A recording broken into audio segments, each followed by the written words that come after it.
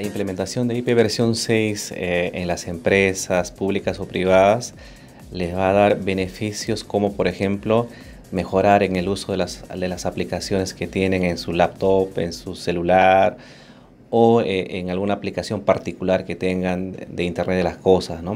También les va a permitir conectar más dispositivos de los que tienen este, actualmente y comenzar a, a implementar este, todas las soluciones de Internet de las cosas. ¿no? O sea, podrían conectar, por ejemplo, sensores, podrían conectar este, eh, medidores, eh, eh, interruptores, paneles, ¿no?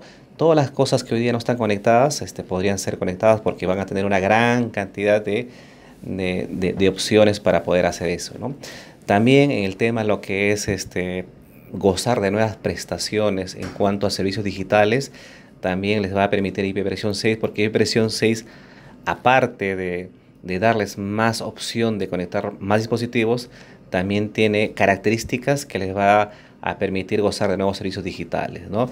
En el tema de, de implementar también sus redes, se simplifica porque IP versión 6 tiene características que, que, hacen que su gestión sea mucho más fácil. ¿no?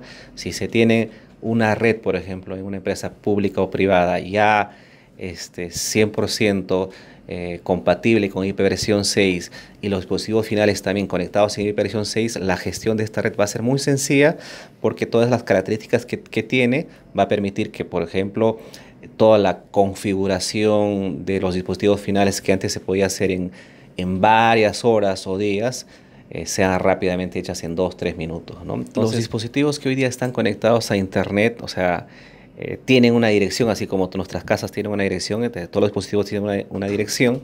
Entonces, esta dirección que hoy existe actualmente está basada en el IP versión 4, en el que tiene una cantidad limitada de, numeraciones, vamos a decirle así, ¿no?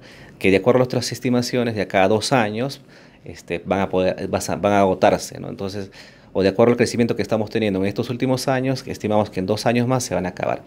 Entonces, pero nosotros estamos viendo que el crecimiento de la conectividad no solamente está yendo por los celulares, las tabletas y las laptops, sino que hoy en día el crecimiento de la conectividad al Internet está yendo por las cosas, por el Internet de las cosas, los televisores. Eh, los semáforos, los carteles digitales, los sensores. Hiperversión se hace fundamental implementar para continuar este, conectando esas nuevas cosas que, les, que te estoy comentando y que van a permitir a que esa empresa cumpla sus objetivos de digitalización, porque una empresa que hoy en día está buscando hacer una agenda digital, lo que está buscando es reducir sus costos operativos, generar nuevos modelos de negocio, ¿no?